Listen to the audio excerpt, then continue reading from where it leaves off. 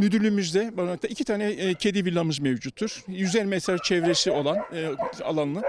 Osmanlı mimarisine göre yapılmış olan bu e, kedi evimizde, kedi villamızda engelli e, olan kedilerimiz, dışarıda hayatını idame ettiremeyecek seviyede olan ke- kedilerimizi burada besliyoruz. Artı kışın e, sobamız var, villa içinde sobamızı yakıyoruz ısınmasını. Her türlü e, aşıları zamanında yapılıyor bu kedilerimizin. E, gerek yaşmama, gerek kurumama özellikle bu konuda dikkat ederek veriyoruz. E, gereken tüm hassasiyet gösteriliyor. Ayrıca e, buradan da sahiplenmek isteyen vatandaşlarımızı da sahiplendiriyoruz e, bu kedilerimizden.